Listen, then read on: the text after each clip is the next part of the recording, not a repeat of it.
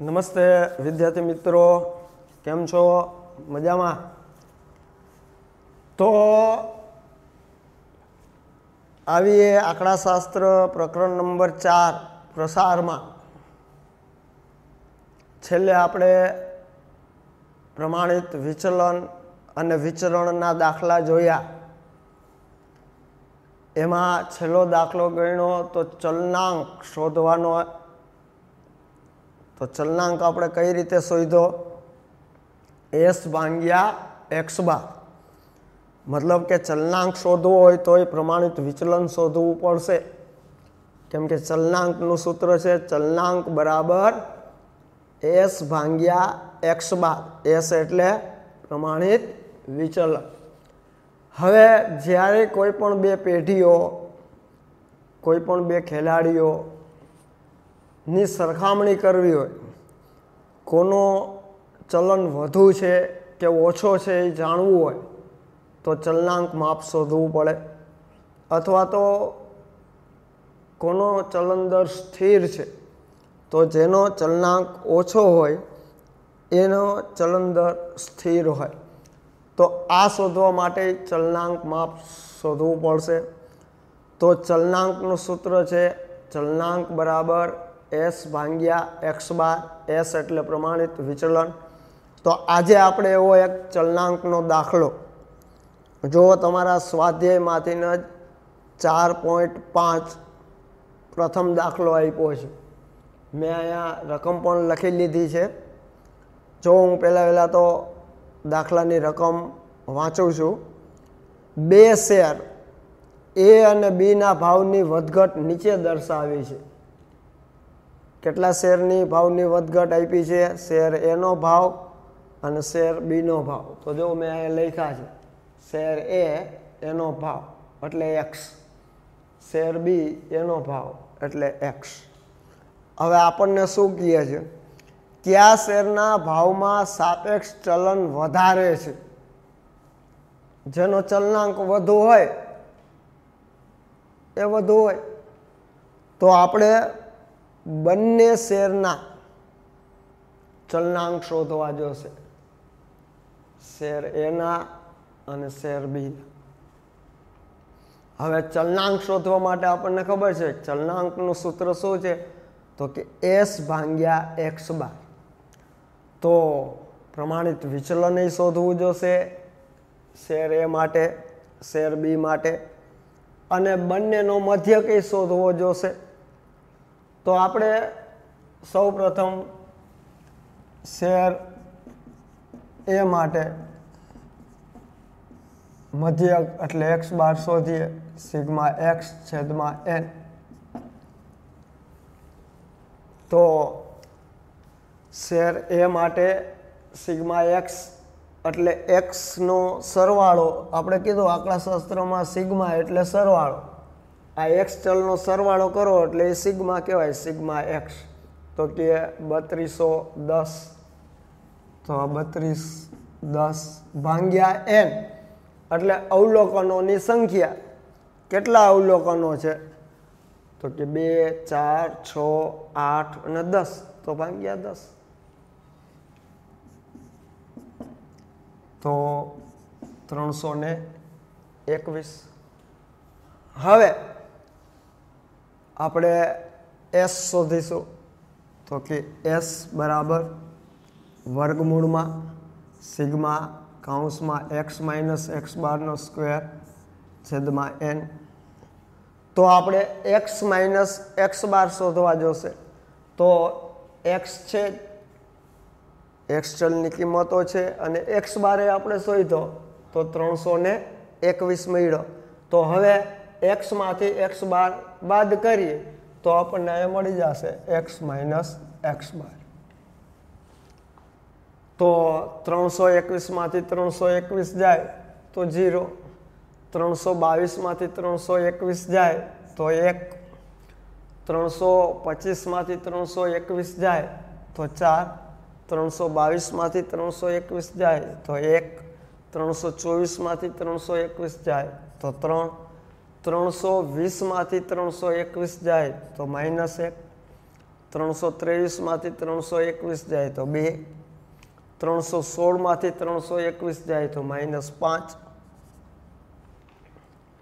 ત્રણસો ઓગણીસમાંથી ત્રણસો એકવીસ જાય તો માઇનસ બે. ત્રણસો અઢારમાંથી ત્રણસો એકવીસ જાય તો માઇનસ ત્રણ. તો મળી ગયા એક્સ માઇનસ એક્સ બાર. હવે એનો વર્ગ તો મેળવી લે એક્સ માઇનસ એક્સ બારનો વર્ગ. મળી જશે. ચાલો. તો ઝીરો એકનો વર્ગ એક, ચારનો વર્ગ સોળ, એકનો વર્ગ એક, ત્રણનો વર્ગ નવ, એકનો વર્ગ એક, ઓછે ઓછે કેવા થઈ જશે? વધતા બેનો વર્ગ ચાર પાંચનો વર્ગ પચીસ, બેનો વર્ગ ચાર અને ત્રણનો વર્ગ નવ. આનો સરવાળો સિત્તેર. તો આને કહેવાય સિગ્મા કાઉન્સમાં એક્સ માઇનસ એક્સ બારનો વર્ગ. અહીંયા લખો હોય તો લખી શકાય સિગ્મા કાઉન્સમાં એક્સ માઇનસ એક્સ બારનો વર્ગ. તો હવે આપણને પ્રમાણિત વિચલન મળી જશે. સિત્તેર ભાંગ્યા દસ. તો સાત. સાતને વર્ગમૂળમાંથી કાઢવો જોઈએ બે પોઈન્ટ પાસઠ. આ બે પોઈન્ટ પાસઠ. હવે આ જ રીતે શેર બી માટે. આ શેર બી માટે. સૌ પ્રથમ એક્સ બાર મેળવી લે સિગ્મા એક્સ છેદમાં એન. તો એનો સરવાળો છે ચૌદસો. ભાંગ્યા કેટલા અવલોકનો છે? એમના પણ દસ જ અવલોકન છે. તો એકસો ને ચાલીસ. તો શેર બી માટે મધ્યક મળી ગયો એક્સ બાર. હવે એસ મેળવીએ. તો એસ બરાબર સિગ્મા કાઉન્સમાં એક્સ માઇનસ એક્સ બાર ઉપર વર્ગ ભાંગ્યા એક. તો અહીંયા આપણે મેળવી શકીશું x minus x bar. Share B માટે કેટલા છે એક્સ બાર? એકસો ને ચાલીસ. તો હવે એકસો ચાલીસ બાદ કરીએ. એકસો એકતાલીસમાંથી એકસો ચાલીસ જાય તો એક છ.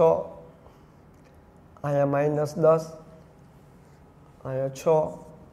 બે, ત્રણ પાંચ, માઇનસ આઠ, માઇનસ છ, માઇનસ આઠ અને બાર. મળશે? હવે એક્સ માઇનસ એક્સ બારનો વર્ગ, એકનો વર્ગ એક, છનો વર્ગ છત્રીસ, દસનો સો, છત્રીસ, ચાર પચીસ, ચોસઠ, છત્રીસ, ચોસઠ, એકસો ને ચુમ્માલીસ થઈ ગયો વર્ગ. એનો સરવાળો કેટલો થાય છે? પાંચસો ને દસ. તો હવે મૂકીએ સૂત્રમાં આ વર્ગમૂળમાં. પાંચસો દસ ભાંગ્યા દસ. એટલે વર્ગમૂળમાં એકાવન. એકાવનને વર્ગમૂળમાંથી બહાર કાઢો. તો સાત પોઈન્ટ ચૌદ આવે છે.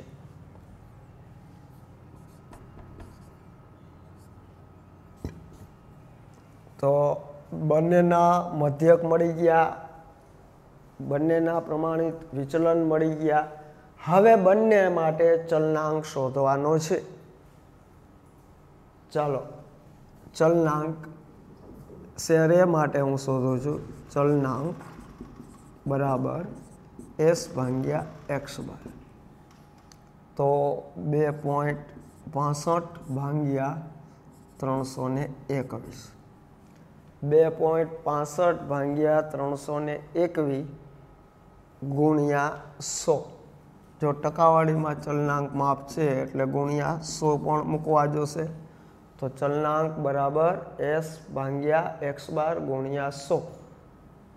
તો બસો પાસઠ બસ બે પોઈન્ટ પાસઠ ગુણ્યા સો એટલે બસો પાસઠ ભાંગ્યા ત્રણસો એકવીસ. કરો જોઈએ ત્રણસો એકવીસ ભાંગ્યા ઝીરો પોઈન્ટ ત્યાંસી ટકા. કેટલા ટકા આવ્યા? ઝીરો પોઈન્ટ ત્યાંસી ટકા. હજુ ચલનાંક એ ટકાવાળી માપ છે. એટલે ચલનાંકના સૂત્રોમાં ચલનાંક બરાબર એસ ભાંગ્યા એક્સ બાર ગુણ્યા સો. ટકાવાળી માપ છે એટલે ગુણ્યા સો પણ કરવાના રહેશે. તો કેટલા ટકા આવ્યા? ઝીરો પોઈન્ટ ત્યાંસી ટકા. ચાલો, એ જ રીતે શેર બી માટે ચલનાંક બરાબર એસ ભાંગ્યા એક્સ બાર ગુણ્યા સો. એસ કેટલો આવ્યો છે? સાત પોઈન્ટ ચૌદ. એક્સ બાર, એકસો ચાલીસ ગુણ્યા સો. તો સાત પોઈન્ટ ચૌદ ગુણ્યા સો એટલે સાતસો ચૌદ ભાંગ્યા એકસો ચાલીસ. કેટલા આવે છે? પાંચ પોઈન્ટ એક ટકા. પાંચ પોઈન્ટ એક ટકા. હવે શું કહે છે આપણને પ્રશ્નમાં? કે કોનો સાપેક્ષ ચલન વધારે છે? તો જેનો ચલનાંક વધારે હોય એનો સાપેક્ષ ચલન વધારે હોય તો શેર બીનો વધારે છે. તો સાપેક્ષ ચલન કોનો વધારે છે? શેર બીનો. તો અહીંયા એમ લખી શકાય કે શેર એ કરતાં શેર બીનો સાપેક્ષ ચલન વધારે છે. કોનો વધારે છે? શેર બીનો. જો વધારે છે તો જેનો ચલનાંક વધુ હોય એ વધારે. અને સ્થિર કોનો હોય જો સ્થિર માગ્યું હોય તો જેનો ઓછો હોય, ચલનાંક એ સ્થિર હોય. જો સ્થિર માગ્યું હોત તો એ આવે શેર એ. કેમ કે એ ઓછો છે ચલનાંક, ઝીરો પોઈન્ટ ત્યાંસી ટકા છે. તો બી કરતાં એનો ચલનાંક ઓછો છે, એ ઓછો છે એટલે શેર એનો ચલનાંક સ્થિર કહેવાય. પણ કોનો સાપેક્ષ ચલન વધારે છે, તો ચલનાંક જેનો વધારે હોય એ સાપેક્ષ ચલન વધારે કહેવાય. તો અહીંયા આપણને માગ્યું છે કે કોનો સાપેક્ષ ચલન વધારે છે? તો બીનો છે. પણ લખવાનું આ રીતે કે શેર એ કરતાં શેર બીનો સાપેક્ષ ચલન વધારે છે. સમજાય છે? તો હવે પ્રમાણિત વિચલન એ આવડે છે, વિચરણ એ આવડે છે, તો ચલનાંકને ઉમેરી દેવાનું છે. હવે જેટલાય ચલનાંકના દાખલા હોય, એ બધા ઉદાહરણ સ્વાધ્યાયમાંથી ગણવાના છે. ચલનાંકનું સૂત્ર તો કે એસ ભાંગ્યા એક્સ બાર ગુણ્યા સો. ગુણ્યા સો આવે એટલે એનો જવાબ ટકામાં આવે. એ માપ કેવું થઈ જાય? ટકાવાળી માપ થઈ જાય. તો પાછળ સંકેતે ટકાવાળીની નિશાની પણ મૂકવાની છે. ઝીરો પોઈન્ટ ત્રેસઠ ટકા, પાંચ પોઈન્ટ એક ટકા. હવે આ સમજાઈ ગયું? કોનો ચલન સ્થિર છે? તો જેનો ઓછો હોય ચલનાંક સ્થિર. અને કોનો સાપેક્ષ ચલન વધારે છે? તો જેનો ચલનાંક વધારે હોય એ વધારે છે. અને એવા પછી દાખલા જોવો આપ્યા જ છે. પછીનો દાખલો એ આપ્યો છે, પણ તમે ગણજો. જો હું સમજાવી દઉં. પછીનો દાખલો શું આપ્યો છે? બે કંપનીના વહીવટી કર્મચારીઓના દૈનિક પગાર વિશે નીચે મુજબ માહિતી મળે છે. જો કેટલા કર્મચારીની માહિતી આપી છે? તો કે બે કંપનીના વહીવટી કર્મચારીઓની માહિતી આપી છે. શેની માહિતી આપી છે? દૈનિક પગાર વિશે. જો અહીંયા લખીએ આપણે. બે કંપનીના કર્મચારીઓના પગાર વિશેની માહિતી આપી છે.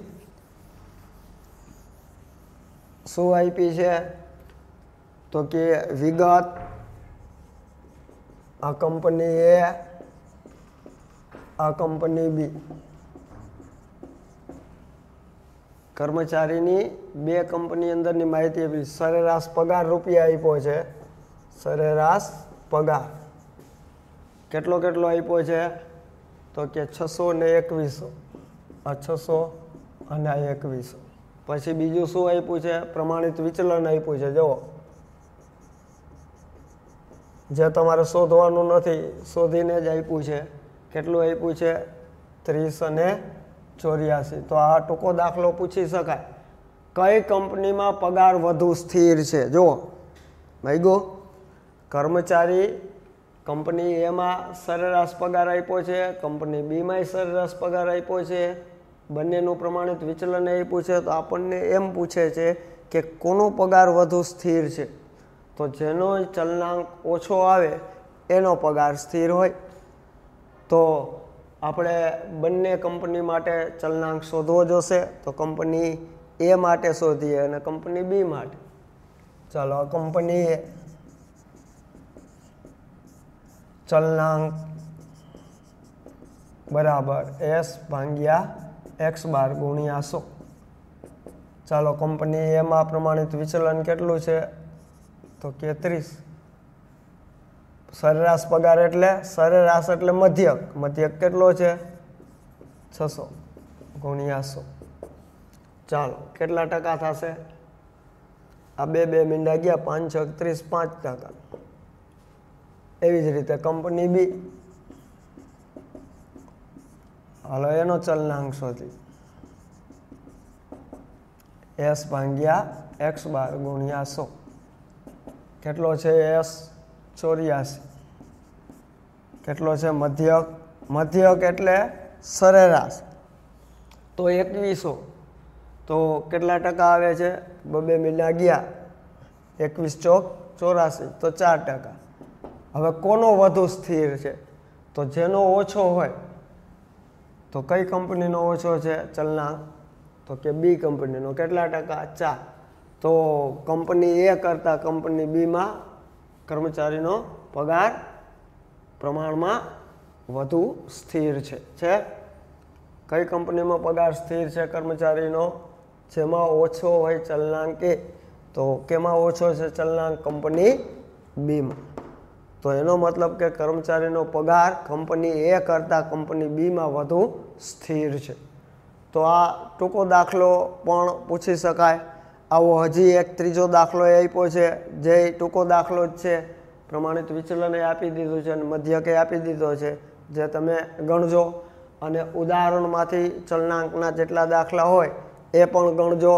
એટલે અહીંયા આપણું જે પ્રસારમાન ચોથું પ્રકરણ છે એ બધી રીતો હવે એક રીત બાકી રહીએ છે. એ નેક્સ્ટ લેક્ચરમાં જોઈ લેશું. એટલે ચોથું પ્રકરણ એ આપણે પૂરું થઈ જશે. પછી આપણે જે આગળનું પ્રથમ અને બીજું પ્રકરણ બાકી રાખ્યું છે, એ હવે તમને સમજાશે. પણ આજે આ લેક્ચર જોઈ લ્યો પછી ચલનાંકના જેટલા દાખલા હોય એટલા ગણજો બરાબર? તો ત્યાં સુધી રજા આપશો. જય હિન્દ.